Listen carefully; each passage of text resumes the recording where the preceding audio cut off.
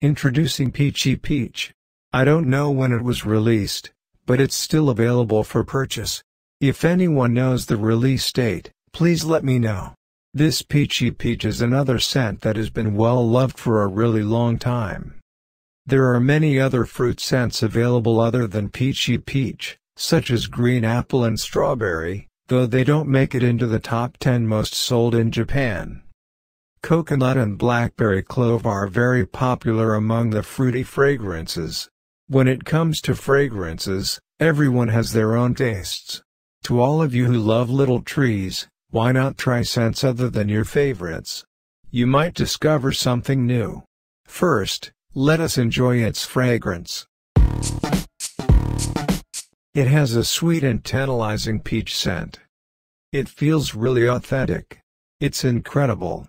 The slightly sour aroma alongside the gentle floral scent makes for a much more realistic peach fragrance. The sweetness is beautifully understated. It feels like a gentler fragrance compared to other fruit scents.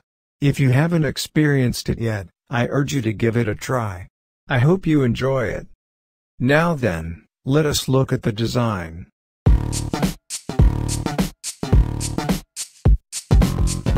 This is an illustration of a ripe and juicy peach. It looks so delicious. The scene in the background of a meadow set against blue sky is one you often see in other little trees. The image is so fresh, vivid and appealing.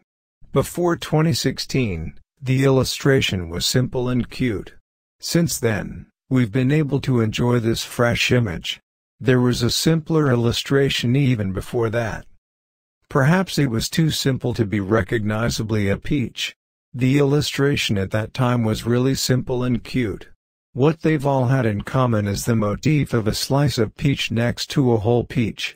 In the current image, the position of the sliced peach has been reversed, but the overall composition remains the same.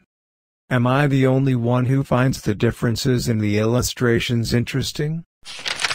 While scent perception varies from person to person, how did you feel?